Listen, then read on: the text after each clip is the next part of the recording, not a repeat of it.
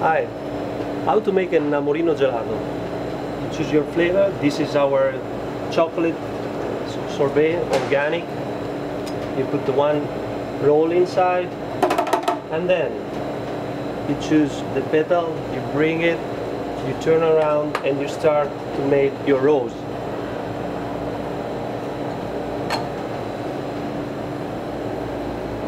Three petal of organic chocolate, and then we choose the sorbetto. Sorbetto mango.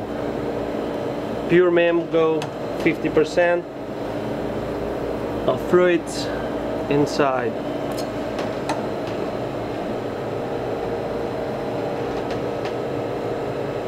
Okay and then we bring it the strawberry. Strawberry sorbetto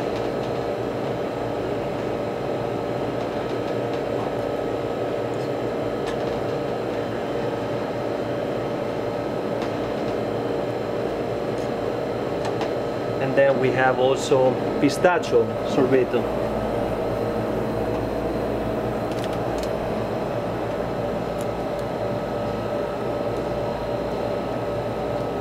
One more petal and it's finished.